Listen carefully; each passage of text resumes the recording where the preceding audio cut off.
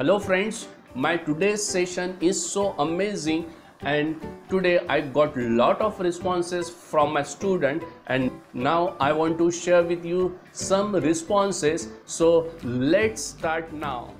So the first response from Vaidehi Desai and she is from Valsad and her response is today's session is so excellent.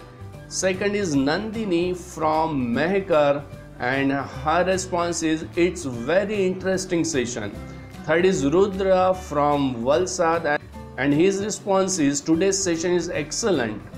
Fourth is Nisha Nehte from Ambarnath. Her response is today's session is interesting and beneficial.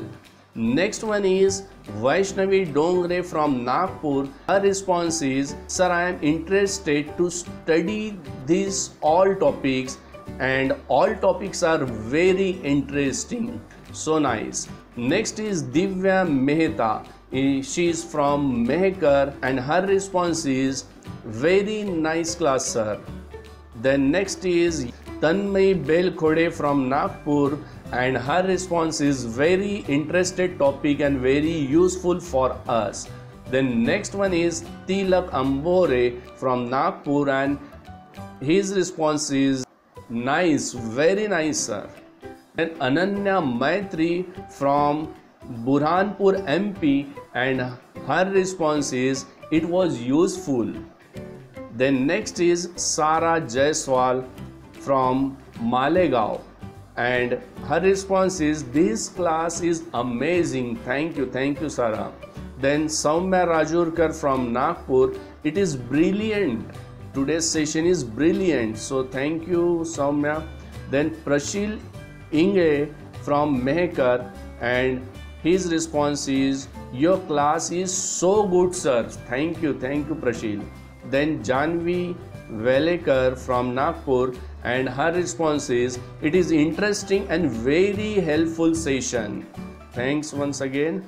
And then Namami Mantri from Amravati and her response is it was so useful. Please teach me more. She want to learn more from me. So so I am very grateful for Namami. She is interested to learn from me more then Tanvi Dhore from Nagpur and her response is it is very amazing and very useful Vedic maths. It is very useful. Thank you sir for the class. So thank you. So thank you Tanvi. Then Adarsh Donge from Mehkar and he replies Thank you, thank you, sir. So, thank you, others, and thank you, all of you who attend today's webinar and give the wonderful responses.